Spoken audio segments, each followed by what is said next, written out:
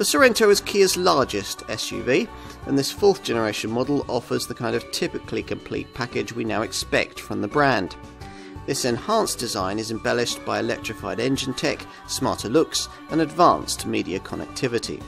And as before, it sells in the upper part of the SUV D segment, offering more space and 4x4 prowess than cheaper class contenders provide.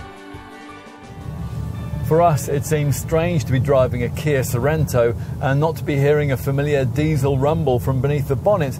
And it will be for many customers of previous generation versions of this car. A diesel can still be had with this car, the brand's familiar 199 brake horsepower 2.2 litre CRDI unit.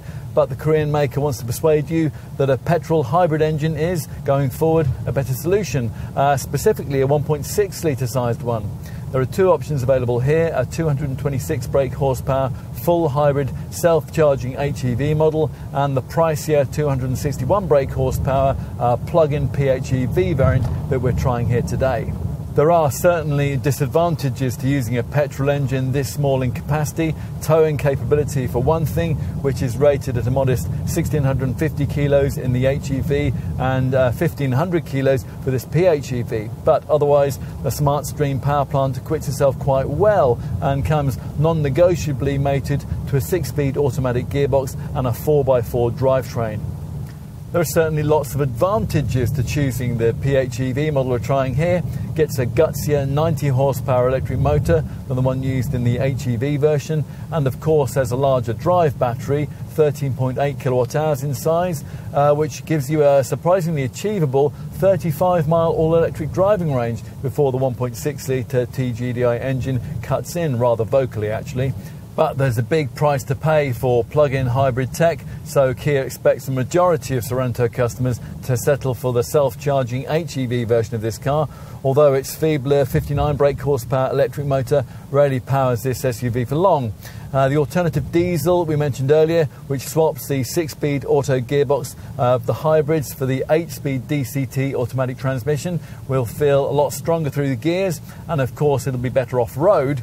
But of course, in terms of efficiency, it can't get anywhere near this PHEV variant, which is officially WLTP rated and 176.6 mpg on the combined cycle and 38 grams per kilometre of CO2. Previous generations of the Sorento have been a little anonymous and forgettable, but this fourth generation design is out to rectify that. This car certainly now makes more of an overtaking statement. Kia's familiar tiger nose grille is here much wider and flanked by piercing LED headlamps featuring distinctive daytime running lights modelled apparently on a tiger's eye line. In profile, you get a sense of the continuing growth that's characterized the Sorento model line throughout its various generations. This Mark IV design is 5mm taller and it gains another 10mm of length, taking the parking space size you'll need to well over 4.8 metres, which, to give you some class perspective, actually puts it closer to a full fat, large segment Land Rover Discovery rather than the mid sized Discovery Sport model that it's been priced against. Perhaps most distinctive, though, is the tailgate treatment, borrowed from Kia's even larger US market Telluride SUV, a model the UK doesn't see. Perhaps that explains a touch of Ford Mustang in the styling of these LED tail lamps. The cabin quality on show here is certainly a big step forward from anything we've ever seen from Kia before. Uh, you still probably wouldn't think you were in a premium brand model, but the dashboard's uh, shelf like design has some interesting flourishes, uh, like the unusual shaping of these uh, central vents here. And we think that most customers will really like the way that the high set driving position offers you such a commanding view of the road ahead of you.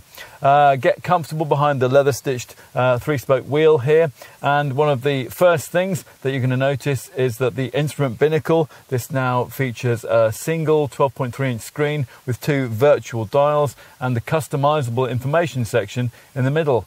Uh, anything this display can't tell you will probably be covered off instead by the infotainment monitor, and that flows out of the instrument binnacle to top this center stack here. This would be 8 inches in size with base 2 spec trim, as here, but with the two more opulent trim levels, uh, you're favoured instead with a preferable 10.25 inch touchscreen display. You also get supportive seats and the wide range of cabin stowage cubbies that you'd want in a family SUV. Right, time to take a seat in the second row, space in which ought to be aided by this fourth generation model's 35mm increase in wheelbase length. As usual in a seven seat SUV, the bench slides back and forth and the backrest reclines, and that allows second row folk to prioritise either their legroom or that of those behind. Right, time to take a look in the third row. That relatively high floor height means that, as with most cars in this class, you sit rather with your knees up towards the level of your stomach, but otherwise it is reasonably comfortable back here by class standards anyway, although adults won't obviously want to be confined here for too long. Right, let's finish with a look in the boot. It's only electrically powered if you avoid the base 2 level of trim we have here. The hatch opens to a wide, square shaped load bay with a nice flat entry floor. It's not massively spacious, of course, with the third seating row up like this, but the 179 litre capacity provided in this format is enough for a couple of carry on suitcases, and it embarrasses the 115 litre space that you'd have with a similarly configured Land Rover Discovery Sport. Much of the time, you're going to want to tug on the pull straps on the backs of these third row chairs and fold them into the floor. Uh, that frees up 604 litres of space in this PHEV model. It's 608 litres in the HEV and 616 litres with the diesel. If you need more room, the second row seating can be folded from the boot area by these right hand cargo sidewall buttons, although reinstating those chairs has to be done manually from the side doors in the usual way. Uh, anyway, once everything's nice and flat, you get up to 1988 litres of space with this plug in hybrid. It's 1996 litres with a self charging hybrid, and it's 2011 litres with the diesel. And in summary, while well, those familiar with the Amalfi Coast might still feel the Sorento to be lacking an R, a glance at the spec sheet doesn't immediately suggest it's lacking very much else. In short, then, for all kinds of reasons, we think this is now a contender that you'd like rather than merely one that it would be very handy to have.